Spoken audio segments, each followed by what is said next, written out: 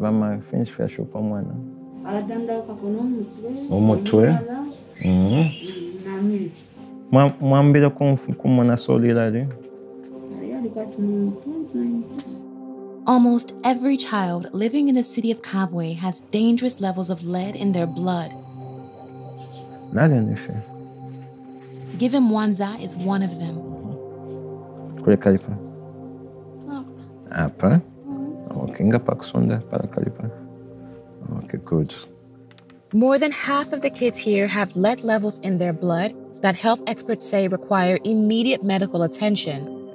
Compared to kids in Flint, Michigan at the height of its water crisis, children here in Kabwe have an average of over 20 times more lead in their blood.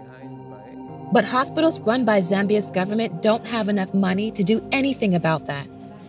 They're short on tests, lack effective treatments, and don't track the numbers of hospitalizations or deaths. So parents who can't afford it come to private clinics like this one. two things. First uh, mumenso mulemonika pale could mean that uh, omulopa taukwene so tutulanda ta anemia. Number two tufe twawekeshapo ekipimo kya mutofu so tufe twasenda omulopa twapima twacekinga twamona tiyapera pesa eh, Eh, nga kukunkanyapo n'omuti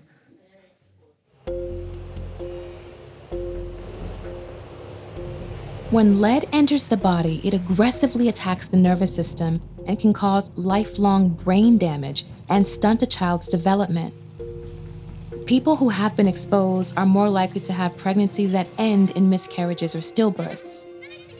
Children absorb lead at an even higher rate and are more likely to be exposed as they play outside. For decades, this city was the center of Africa's lead mining industry. Now, much of the city is toxic land, full of the remnants of this country's golden era of mining. In fact, many rate Kabwe as the most toxic city in Africa, one of the most contaminated in the entire world. Poisonous debris is spewing out from these fumes, and people have been breathing in this day in and day out for nearly a century.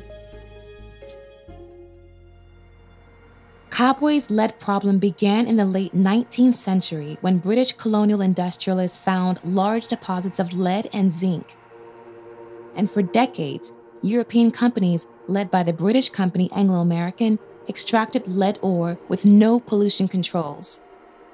Fumes covered much of the surrounding soil and water with lead dust.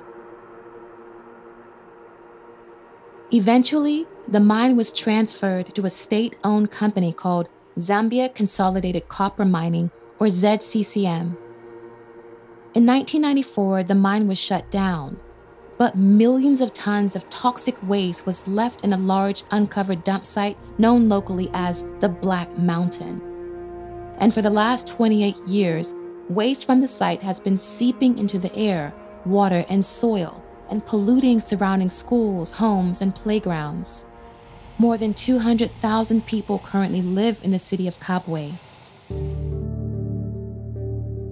When the mine officially shut down in 1994, it didn't stop people from mining. Folks need to make a living. So they come over to leftover mine sites like this one to extract lead and other minerals such as copper, manganese, and zinc. And you can see the smelter just over here. And this is where they extract the minerals from the ore through intense heat. And the fumes blow all across this area. So this is very dangerous work, toxic to their health.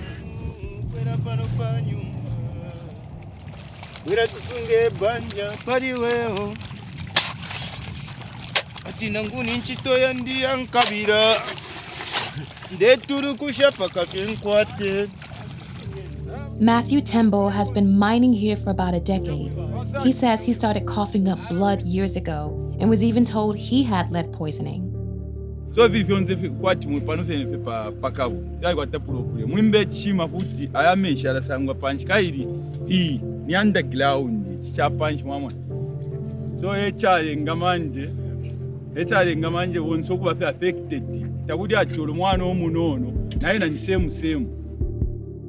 There are some experts who are working on the environment. They say that this work you're doing is dangerous and they want it to stop. Kuba nga bayisa motoka kulaba mwabula mavu mwakatoba ka motoka baya olubiri olimira motoka bayisha kali nishita batupere nchitwe yakubomba pano paka wento abaponiire twavuma okuvuma ino so okufika ekimuleta pa ino kyolire polo kimo. Nikuya mukulayensa Instead of having the reputation as being the most toxic city in Africa, what would you like to see Kabwe stand for? Manje twakwata yakwata manje kavu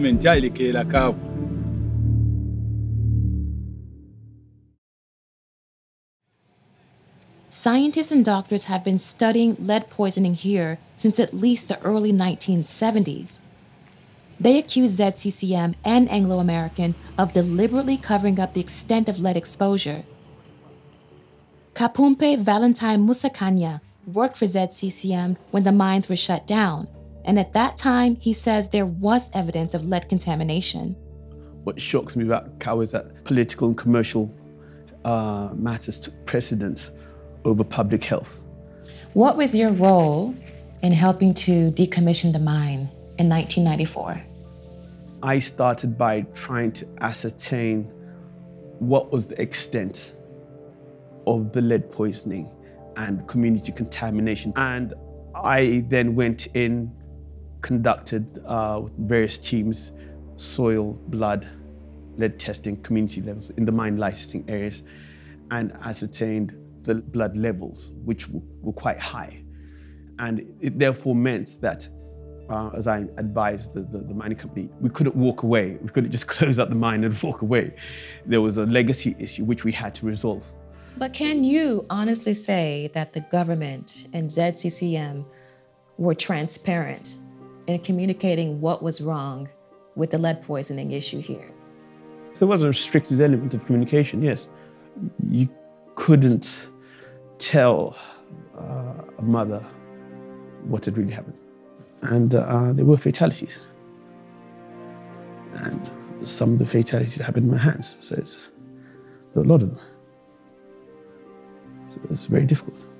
How many mothers were you not able to tell? A lot. But was there a cover up attempt? I wouldn't use that term. I, I would more say there was an uh, inaction and an incapability to do perhaps the, the right thing. More than 100,000 people are currently part of a lawsuit suing Anglo American for pollution from the Kabwe lead mine, which they managed between 1925 and 1974. They want compensation and a full cleanup. It's being heard in South Africa because class action suits aren't allowed in the Zambian legal system, and the court is yet to decide if the case can proceed. One of the families spoke to us anonymously. mutwe eh, wali mchusha sana amenso eh, nangu nanomba so apa alwalafi nifyofine panono wangalako panono wale denda wale kaichali muona mula mumubili chiye chitofu It must be difficult for you to see him like this. Tashimwanga lete naifira fira fuma. Ndachalengo muntu kubako dalu sidia Eh. eh. Ukana chitafe bwino efintu fye nomo fidya nga kyabasana so kyalindetera obulanda ndayumfa obubi pamwana wanje So tell me, why did you decide to join the lawsuit against Anglo American? kayebale nga twira mamaini muno omwana wanje nga dalwere ngali fye bwino fye naye nafye ngaleyendera fye kulinga nofa limiro okwe Your son needs to have special treatment. Are you getting that treatment now? Eh,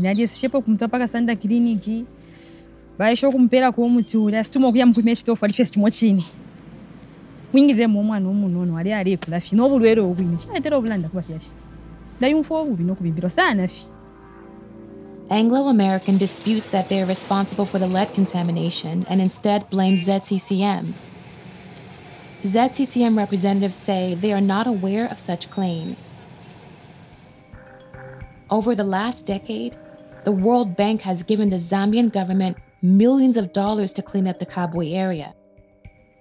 When we actually look at um, the uh, decision by government to borrow for environmental cleanup purposes, which is something that um, uh, is rarely done, is an indication of the level of commitment. Tell me about this school that we're in. We actually picked up this school for remediation because when we came through to conduct uh, measurements uh, in terms of the lead levels in the school surroundings, we found the lead levels above the acceptable uh, standard. We dug a certain distance into the ground to remove the contaminated topsoil, and uh, then we exchanged it with uh, cleaner soil, which was sitting at the bottom. And uh, over and above that, we decided to do paving, which is to create a physical barrier. And of course, we don't have control over what happens to the kids outside of this place. Does the World Bank project tackle air pollution in Kabwe? Air pollution coming from mining and smelting activities? My answer is no. We do not have that mandate. I've been here for about five days Mhm. and seeing the fumes coming out from the smelting, it's shocking. It Yeah, really yeah, is shocking. The escape of the fumes alone does not represent non-compliance. The Environmental Protection Agency, the Mine Safety Department, they've set pollution levels. Right. Has the project been effective?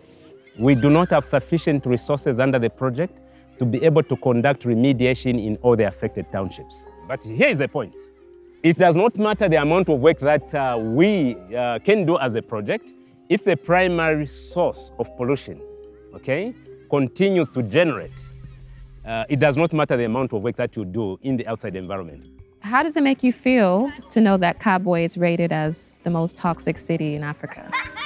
One of the most polluted in the entire world. Well, I'm, I'm, not, I'm not privy to the parameters that were used to do the ranking because if you're talking about Chernobyl and you're talking about lead pollution in Kabwe, how does radiation pollution and lead pollution, heavy metal pollution, how do you put them on the same chart list?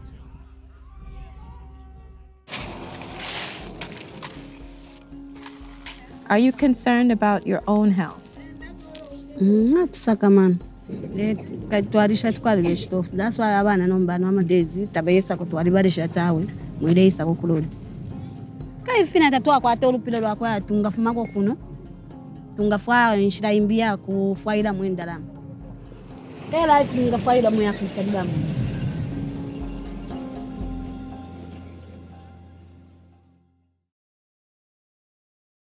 I'm Michael Learmonth, editor in chief of Vice News. Too often, traditional news outlets shy away from the real stories and experiences of those living through global conflicts.